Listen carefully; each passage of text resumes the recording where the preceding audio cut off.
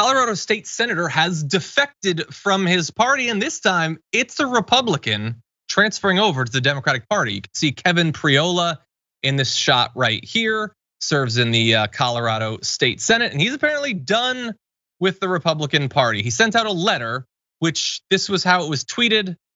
Never be able to read that text uh, on this platform. If you could go to that, you'll see. But anyway, we have excerpts from you. He says, I have become increasingly worried about our planet and the climate crisis we are facing. Hmm, interesting. The Republican Party I joined decades ago created national parks, preserved federal lands, and protected wildlife. President Nixon signed the legislation that created the EPA, which is one of the weirdest historic facts, but it is true.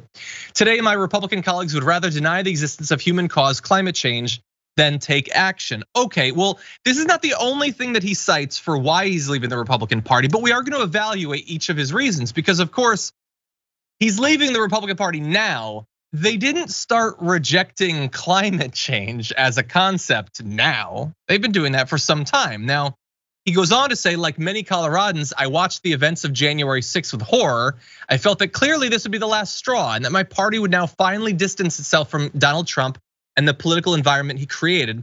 Week after week and month after month, I waited for that response. It never came. Fear mongering to raise money or motivate voters is nothing new, but it has been taken to a dangerous and destabilizing level. I cannot continue to be part of a political party that is okay with a violent attempt to overturn a free and fair election and continues to peddle claims that the 2020 election was stolen. So I don't know, Yaz, what do you think? Like the climate change stuff, like they've never accepted the, the science of climate change or never admitted that yeah. they understand it. They know that it's true. And January 6th was like a year and a half. Like, is this a fair amount of time to wait for a response? Um, you know, I will never fault someone for getting to where they need to be regardless of how long it takes them to get there. And there's a lot of reasons why people would maybe hold out, hold out and make a decision. We've all stayed in relationships way longer than we've ever needed to, right? we knew it was toxic, we knew we needed to get out, but we just didn't because it was easier to stay, or whatever the reason is, right? The reasons mm-hmm. that he's citing for wanting to leave the Republican Party are very, very valid. And there are a lot of concerns that I think regular people, not politicians, regular Republicans are grappling with and have been grappling with throughout the Trump presidency, especially in the last couple of years since the insurrection. They're seeing a lot of things that are getting harder and harder to deny.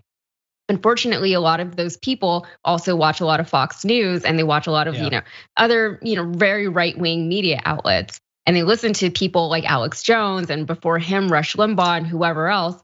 And so it really is like a very inundated, all-encompassing way of living your life. It's you know these are my ideals, these are my values. It's hard to get away from that, uh, not just politically, but even in your personal life. So good for him for finally getting away from it. But then on top of that, we have to think of what that means for the Democratic Party. If we have these Republicans who are now saying I'm a Democrat. Do you adopt the entire Democratic platform now or do you still hold on to, you know, more traditional fiscal Republican ideologies, mm-hmm. right? Or do you adopt things like are you suddenly on board with healthcare for all? Are you suddenly on board with, you know, expanding uh, civil rights and vote, you know, uh, the voting rights and things like that. So I think that would be interesting to see how he adopts the rest of the platform yeah. as a former Republican. Yeah, and, and I, I can't answer the specifics about how he's gonna be on those, but I know like we've already got some experience with some, not even full defections, but like so Liz Cheney obviously is a is a yeah. critic of Donald Trump, willing to hold him accountable or whatever, and and specifically over January 6th and the rejection of the results of the 2020 election. Um, but she also doesn't support the the Democrats voting legislation. So like she will say that this is about democracy and the future of our government, but doesn't act like it when the actual vote comes. I'm gonna read one more quote from him and then we'll debate a bit more. He says, even if there continue to be issues that I disagree with the Democratic Party on, there is too much at stake right now for Republicans to be in charge. He says he has decided to align with truth over conspiracy, which is good. That's my position. We need Democrats in charge because our planet and our democracy depend on it. So, look, if he was trying to specifically appeal to me, I guess he's chosen the two best things to do that on. And if I don't know, like the, the, the Democrats are already um, in control of the state senate. That's not going to switch with him, you know, flipping or whatever. But but that's good. If this helped maybe to pass good state level, you know, environmental regulations or something like that, then that's good.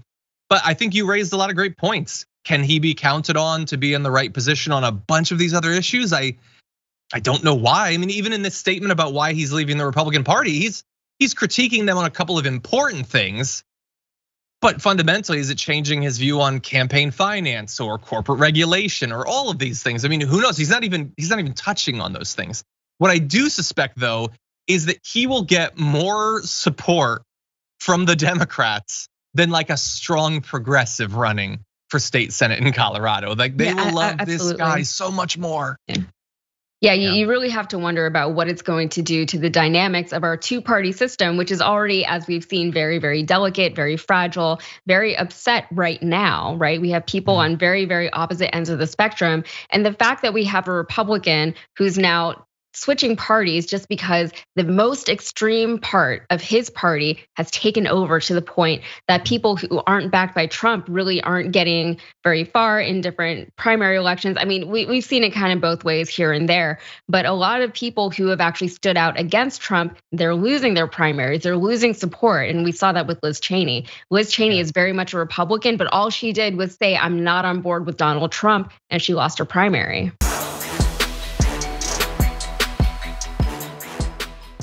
For more political news breakdowns, interviews, stories of activism, and me trying my hardest to care about the occasional big celebrity news story, subscribe to our YouTube channel at youtube.com slash the damage report. And you can ring the bell wherever it is so you don't miss anything.